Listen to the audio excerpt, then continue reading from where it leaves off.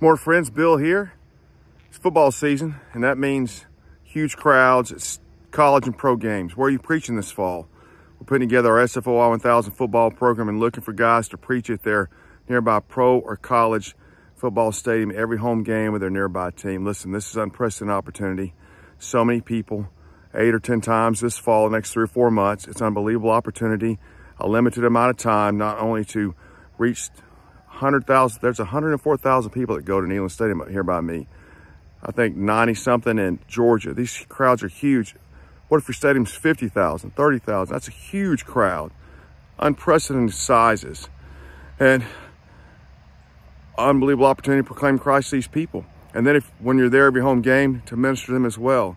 Listen, friends, if we're the Christian community and we've got a Savior to preach and a great commission to get engaged in, now's the time to get engaged. So let me know if you're not part of the program yet and you got a stadium near you, contact me and let's get you plugged in. Or if you know someone uh, near a stadium, uh, contact me likewise and tell me who they are, how to reach out to them, and let's get them plugged in so these souls can hear the good news of God's mighty work in Jesus Christ our Lord. Thank you.